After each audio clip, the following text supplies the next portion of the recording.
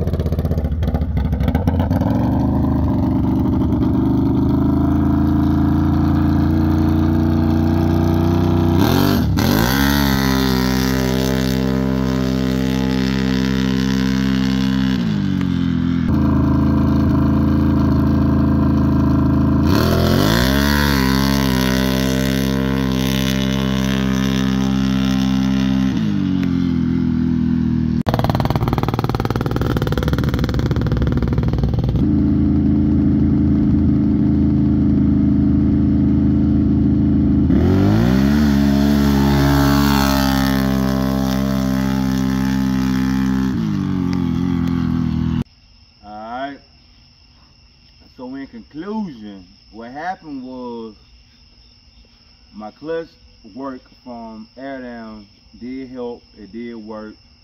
He, uh, he actually did some machining to my primary and my secondary um, springs and weights and things.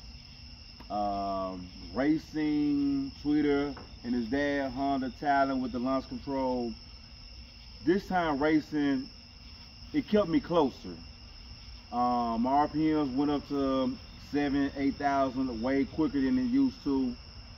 Uh, so they even said when they was racing, they can look back and see me. So clutch work from down did work, it did help, but it ain't gonna fool with no launch control, launching at no 4,000 to 7,000 RPMs, but it did help satisfy dripper, doing a little bit better.